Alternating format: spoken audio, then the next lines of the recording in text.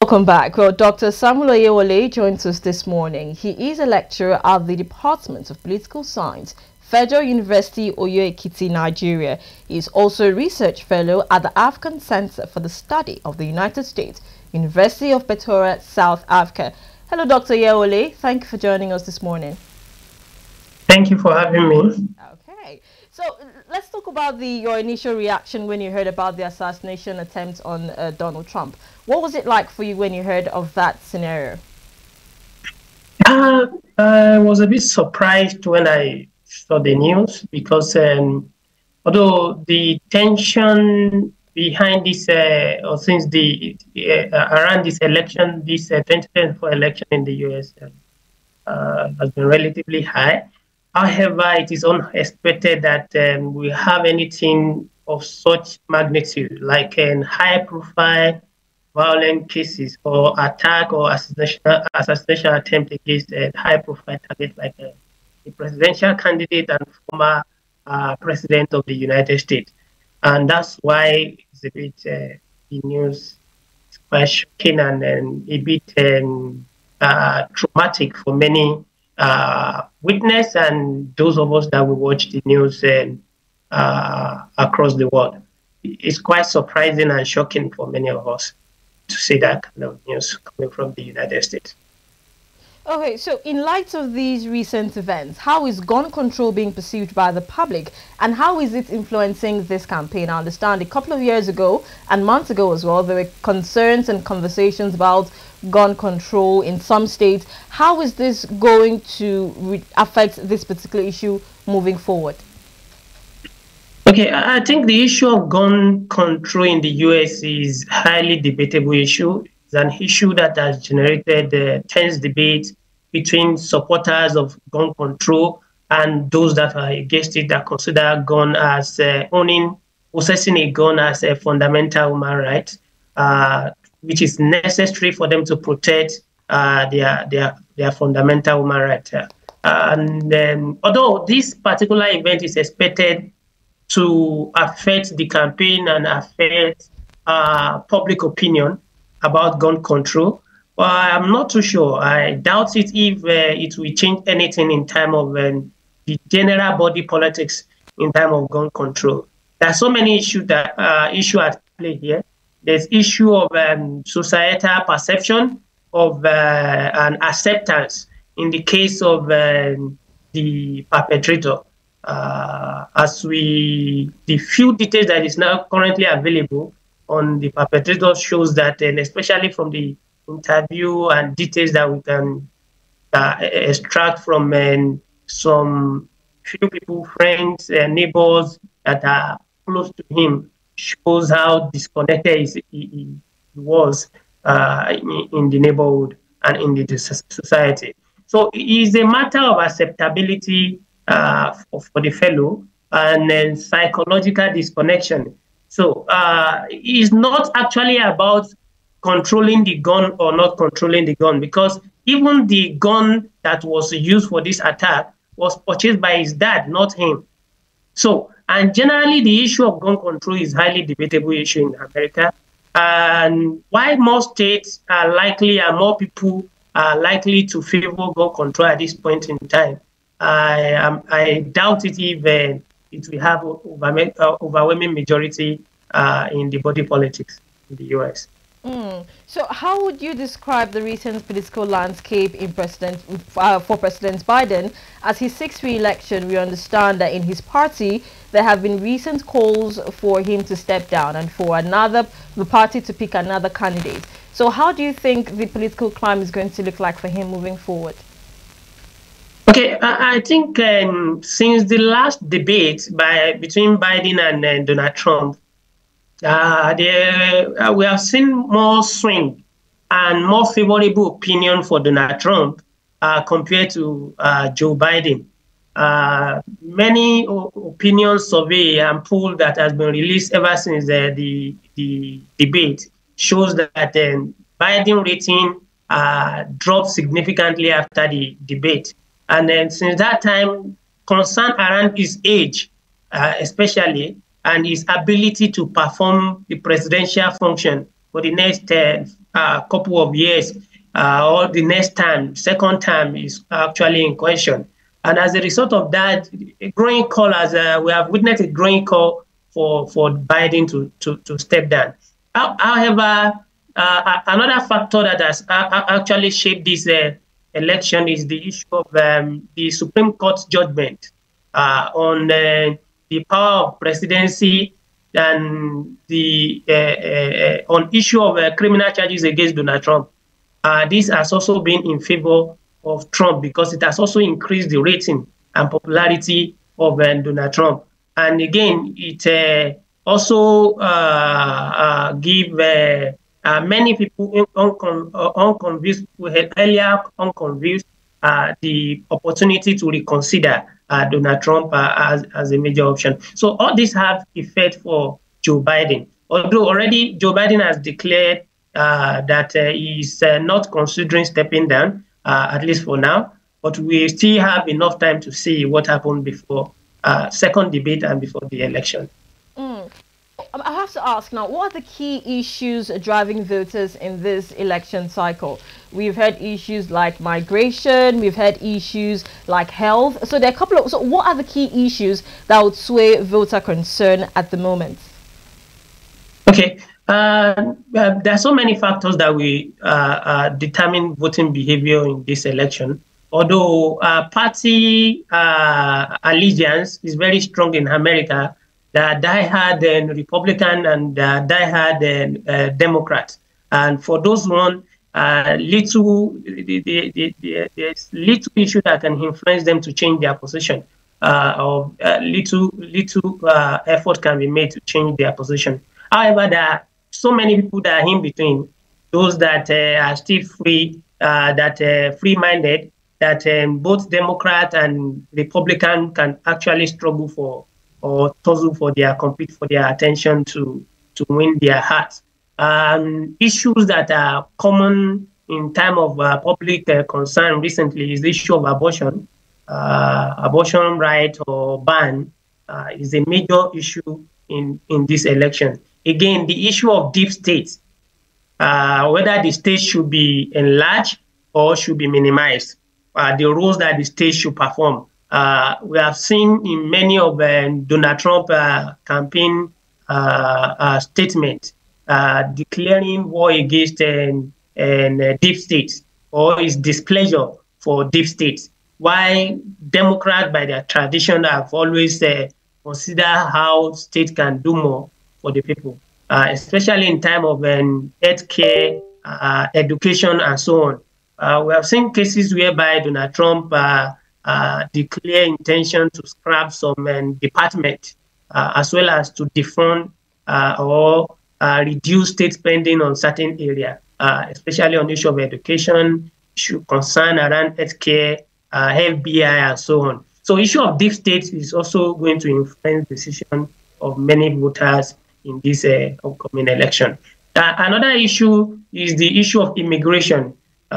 policy of mass deportation uh, that uh, is proposed by Donald Trump and some of his followers is a major subject of concern for many voters. Many voters that have um, uh, that are former, I mean, that are immigrant now citizen that have uh, uh, uh, that can now vote may also decide their voting decision based on an immigration policy of Joe Biden or Democrat and the Republican. Issue of gun control is another issue. And again, the foreign policy of the two uh, candidate or the two party is also a subject of concern.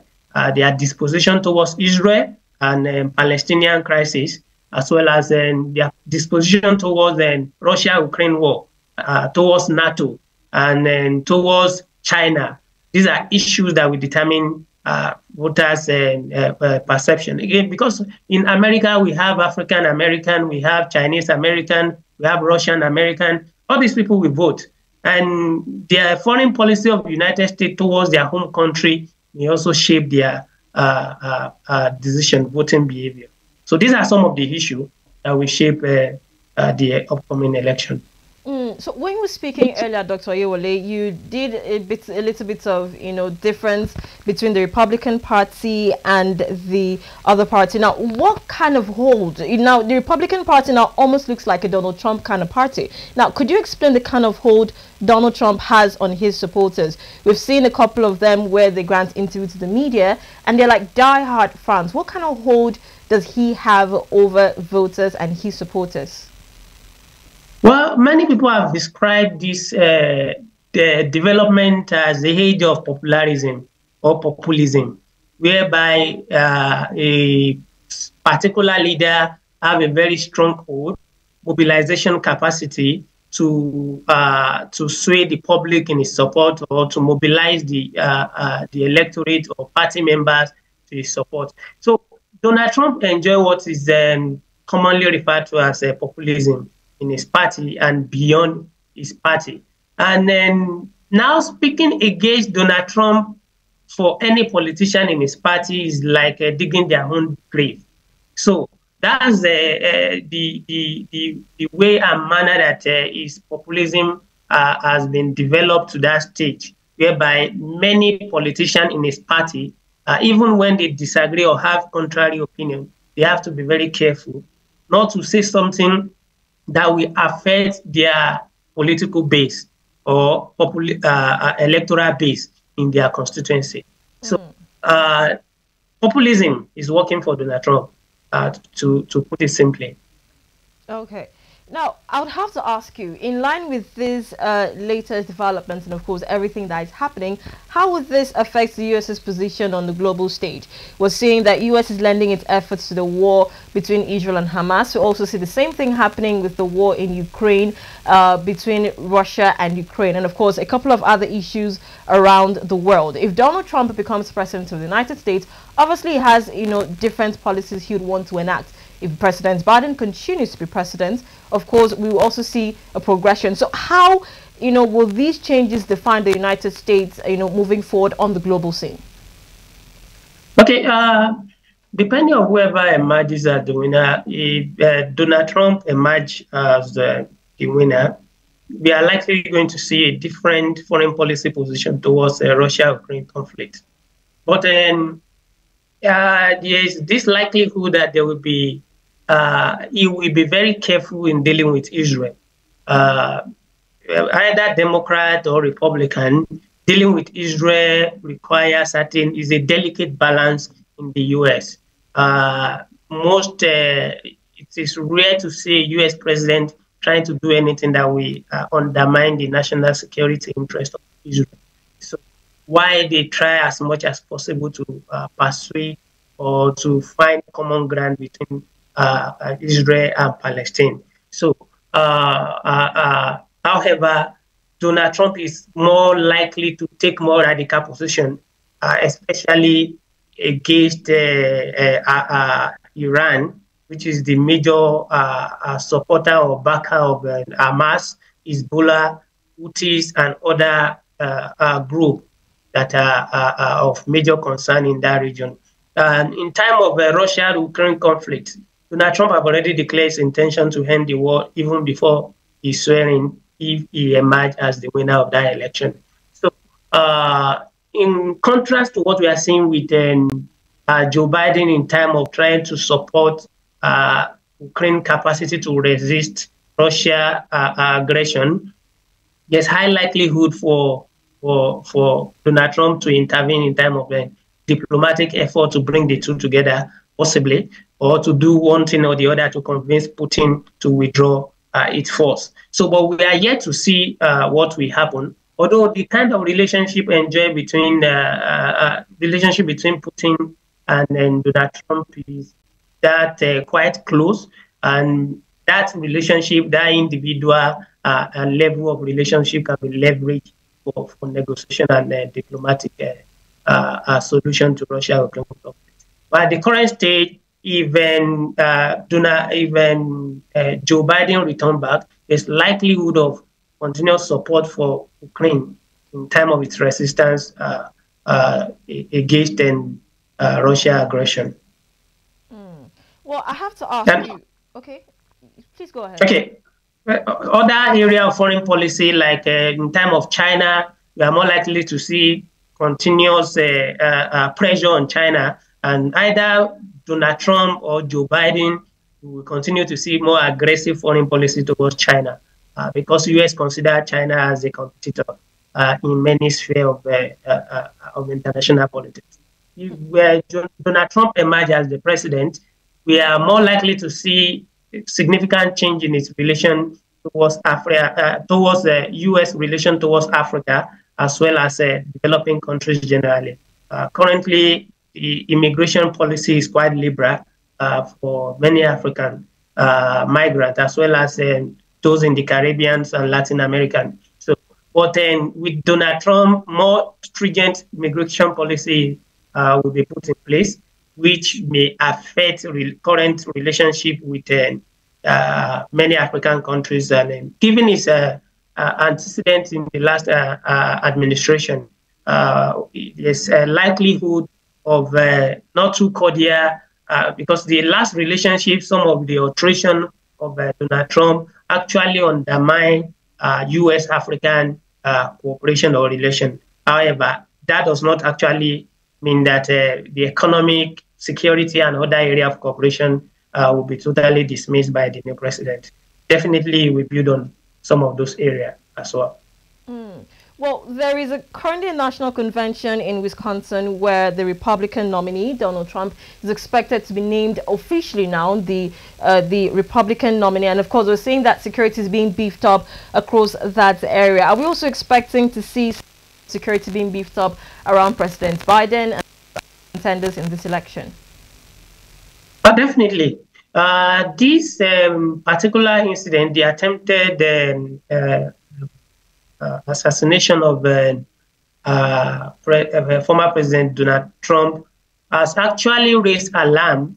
And because of that, the Secret Service, the FBI, and the local police are more likely to re strategize, beef up security because uh, one of the issues that has been raised by the security agencies was that uh, uh, the the the the the, but, uh, the the suspected, I mean, the assailant or perpetrator, that's um, Thomas Matthew uh, Crooks, who was involved in the attempted assassination, uh, was uh, lo uh, located uh, fix his position around somewhere that is considered outside the perimeter of the campaign. So, but with this particular incident now, we are more likely to see expansive or expansion in conception of perimeter in protection of uh, uh, a politician, presidential candidates, and the campaign venue or rallies as well as uh, political activities around during uh, and before before and during this election. So the, the security agency, the Secret Service, the FBI, and the local police are more likely to strategize and expand their, uh, their capacity and conception of uh, security in this time the U.S. Mm. Well, these are very, definitely very interesting developments taking place on the U.S. election scene. Dr. Oyewole, thank you so much for joining us and giving us those developments. We really appreciate you. Thank you for having me. Okay. We've been speaking with Dr. Samuel Oyewole. He is uh, he is a lecturer at the Department of Political Science from the Federal University of Oye-Ekiti, Nigeria. He's also a research fellow at the African Center for the Study of the United States in the University of Pretoria, South Africa.